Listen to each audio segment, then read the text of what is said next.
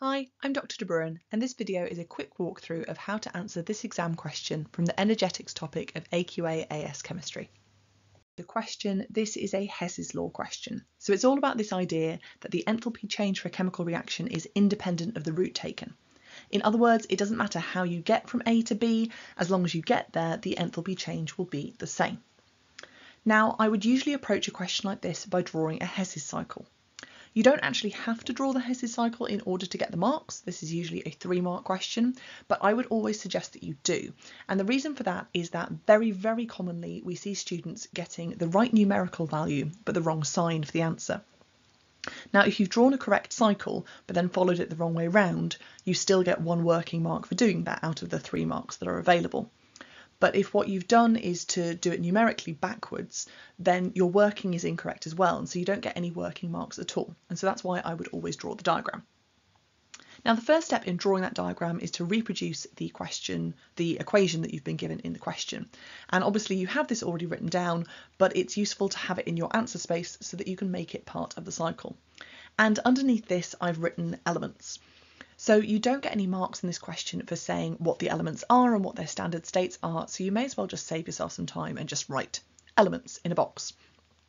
Um, I'm using enthalpy changes of formation that are given in the question, so that's why I'm going from elements. Now the first thing that I can do now is to add in some arrows for the substances that are themselves still elements. So for instance the calcium here, I know that the enthalpy change there is zero because the calcium was already in its standard state as an element in the box. So by definition its enthalpy change of formation is zero and I can do the same thing for the vanadium here. Then I've been told in the question that the enthalpy of formation for calcium oxide is minus 635. But I don't have just one mole of calcium oxide, I have five moles. So that arrow is going to need to be 5 times minus 635. And then I've also been told that the enthalpy change for the reaction as a whole is minus 1615. So I can write that in as well.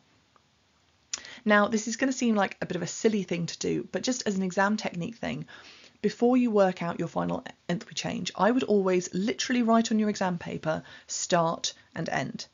And the reason for doing that is that it just makes it clearer to you when you're stressed and under pressure in the exam which way are you going up this arrow? How are you getting there? So basically, I'm trying to go up this red arrow, but I can't go up this red arrow because I don't have the information. So instead, I'm going to go from the green start all the way around as my blue arrow shows me and still finish up at my red end.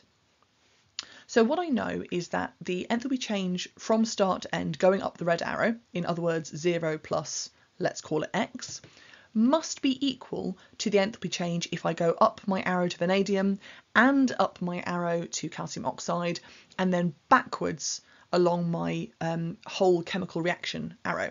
So that's why it's minus minus 1615 because we're going the wrong way up that arrow. We're going right to left instead of left to right.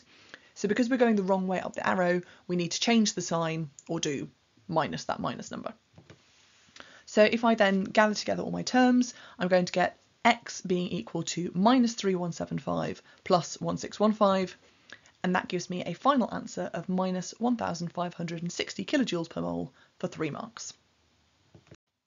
Thank you very much for watching, and I hope that you are finding these walkthroughs of A-level chemistry exam questions useful as part of your revision or just your ongoing A-level chemistry studies. If you are enjoying them, then don't forget to like and subscribe for more A-level chemistry content coming soon.